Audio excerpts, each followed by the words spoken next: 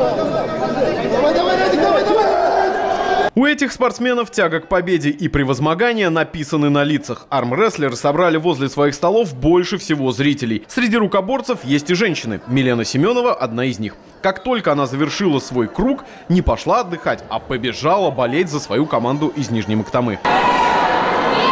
Милена Семенова в армрестлинге уже 15 лет. За стол она впервые встала еще в студенческие времена. Она постоянный участник спартакиады сельских жителей. До 2012 года выступала за команду Старого Суркина, а после переезда за Бактаму. Почему она любит этот с виду не женский вид спорта, у Милены своя версия. Скорее всего, когда я родилась, и моя сестра, и я, мама с папой ждали мальчиков, и э, от природы мне дали силу. Ну вот так, как-то так. На участие в соревнованиях заявилось больше 30 команд из сельских поселений района. Организаторы предложили участникам 9 видов спорта, но из-за погоды лыжную гонку пришлось отменить. В этом году организаторы решили разделить спартакиаду на два турнира – зимний и летний. Плюс участников разбили на три группы по численности населения в их селах. Первая группа до 700 человек, вторая от 700 до полутора тысяч и третья больше полторы тысячи человек, проживающих в селе. Вторые по зрелищности – состязания гиревиков. Мужчинам нужно было поднять над головой гири общим весом 48 килограммов, женщинам – одну гирю в 16.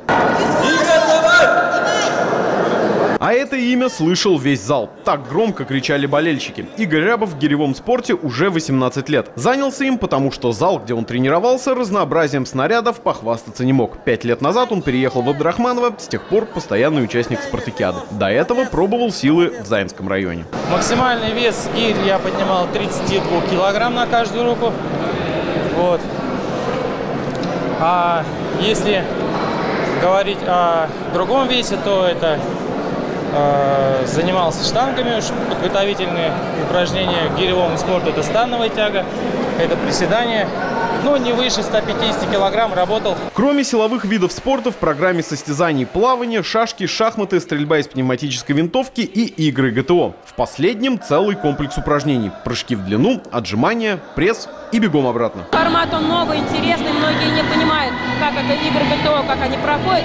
Думаю, что после первого года внедрения игр ГТО на следующий год мы увидим в два-три раза больше народу. Потому что формат интересный, формат доступный, и у всех есть шансы выиграть. После всех соревнований судейская коллегия начала подсчет результатов. Лучшим среди крупных сельских поселений оказалась Минибаева, среди средних сел – Тайсуганова. И Сиренькинская команда на первом месте в третьей группе.